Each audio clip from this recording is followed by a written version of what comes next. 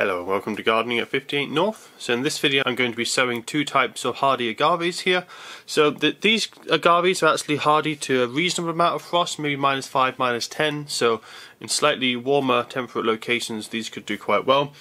But what's especially exciting about these for me is that they come from areas that are high in altitude, so they are quite capable of, of, dealing with the cooler temperatures that are in my part of the world, which is North Scotland.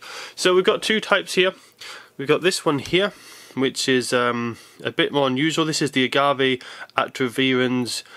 I'm not sure how you say the second bit, but I think it's a Oxyca or Axica jungle giant. And this as well is the other one. This is uh, agave montana. Agave montana is quite well known. That comes from northern Mexico that goes up to 3,000 meters. This one likes it a little bit drier though. It's more like a normal agave but it can handle more more wet weather and cold weather than, than most agaves, so it's got a reasonable chance of surviving in my area. If I have somewhere that's maybe near the coast or I keep it uh, take it in the winter to protect from the worst of the frosts but I do have to be careful with wet winters with that one. This one however is a bit more interesting. So the other one was from northeast Mexico, this one's from the south of Mexico in that in actually the district that gets it gets its name from.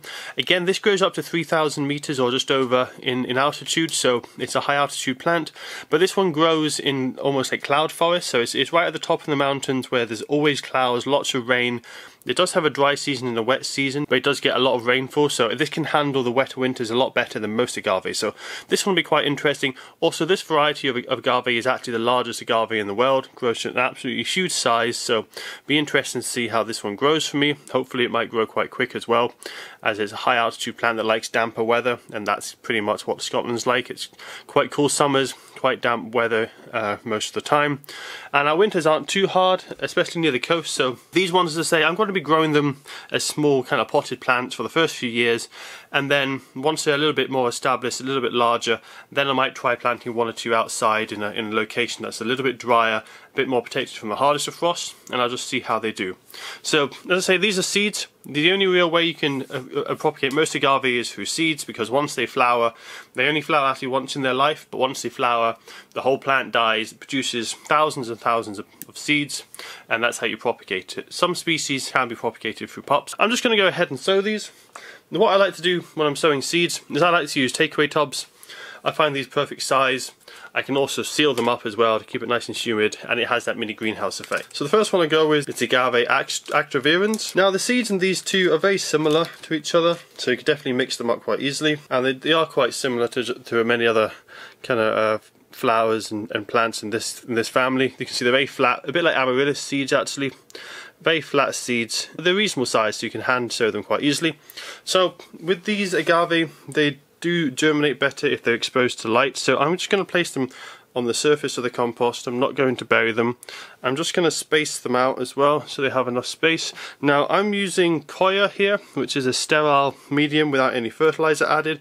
So they should germinate quite well. But the only problem with coir is it's very water retentive. I'm just using it for the germination process. Once these have germinated, I'll be transplanting them quite early on in their life into a much grittier growing substrate, something that drains much better because uh, if they grew for too long in coir they'd probably get problems with, with rotting off as it is a bit too wet for them. So it's just for the germination process and after that I'm going to be transplanting them into more like a succulent and cactus mix. And now so the second one, one of the nice things about the takeaway tubs as well is you have this rough area on the plastic there which you can use uh, a pen or a pencil to write on so very easy to, to label them so you don't get mixed up. Especially with plants like agave here they're going to look virtually identical um, for the first year or so of their life. There's not going to be much difference between the two varieties, so it'll be hard to tell which is which, so I definitely don't want to get them mixed up. So same again, I'm just going to scatter these along the surface.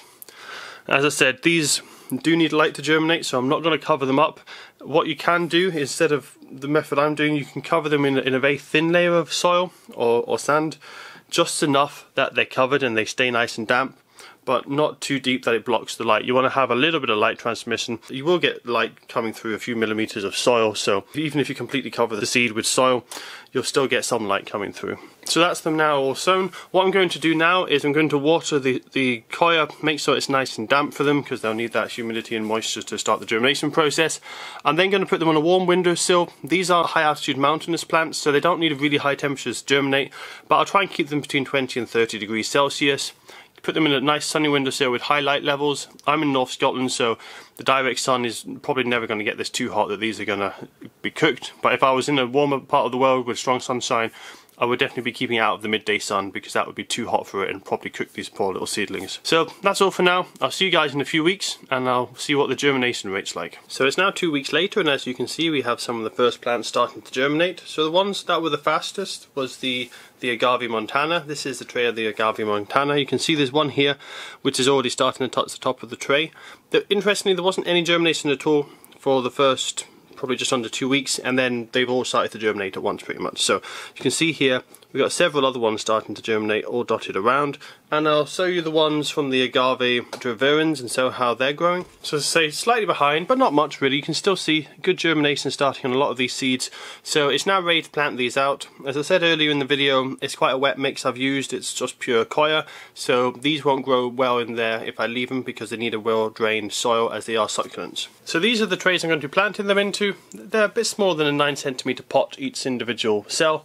Um, but they're reasonable size, so these plants can probably stay in here for a year or two. I don't expect them to be very fast growing plants, but we'll see how fast they do grow. They should grow faster than your average uh, uh, succulent because they are eventually quite large succulents. So these are the, the trays they're going into anyway, and the mix I've used because although these are agave plants and they are succulents, they grow, as I say before, they grow on, uh, on mountainous areas where they actually have quite a lot of rainfall, or at least quite a lot compared with most succulents. So the mix I've gone for is a free draining mix, but I've just let it be a little bit less free draining than I would do for most cacti and succulents.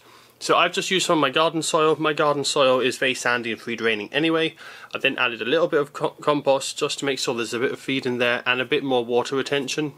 And then I've added quite a lot of perlite as well just to make sure it's a loose mix and free draining. So they should grow quite well in here. Now I have to be quite careful the whole time I'm doing this not to mix the two up because once they're mixed up it'll be quite hard to tell which is which. So I'm just going to get the seedlings and get them ready to, to come out into these pots. So I'll need to be very careful, they're going to be very delicate at this stage, to be careful not to damage them. So this one for example, I'll show you how I'll be doing it. I'll be just getting some tweezers or a pencil.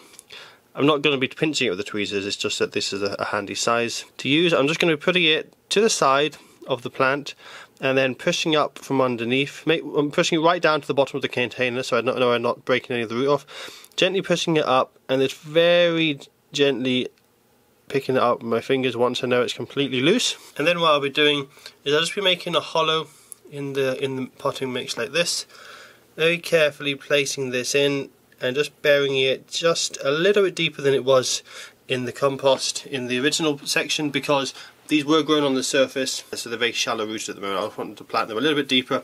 And this section here, uh, that, uh, that little green section that I've buried slightly, it will actually keep pushing up.